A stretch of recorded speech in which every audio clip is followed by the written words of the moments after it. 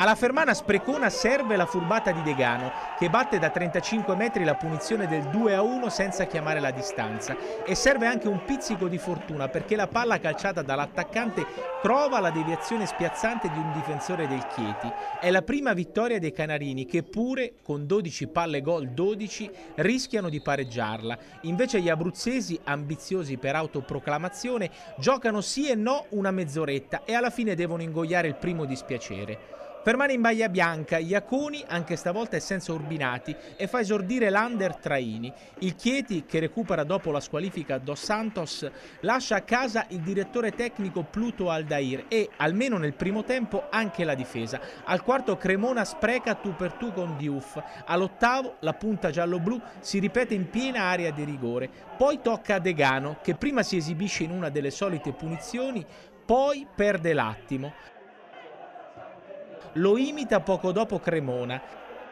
L'attaccante si fa perdonare al 38 con la sponda di testa per Omiccioli. Centrocampista, col turbante per lo scontro in avvio con Dos Santos, batte un rigore in movimento 1-0 Fermana.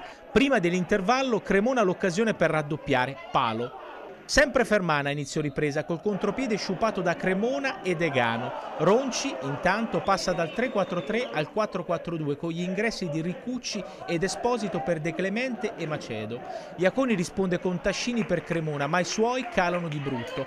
Alla flessione fisica dei Canarini sommate l'episodio da cui nasce un'altra partita, la palla di Varone alzata in angolo da Olzak al ventitreesimo. A ruota l'incrocio dei pali centrato da Suriano, limitato nel primo tempo dalla marcatura uomo di Misin. Sempre Suriano mette al lato di testa, ma il pari ormai è maturo. Lo autografa Dos Santos al ventottesimo, con una staffilata nell'angolino in girata. Il Chieti potrebbe ribaltare la fermana subito dopo, anche se l'azione è viziata da un fallo sugli otti.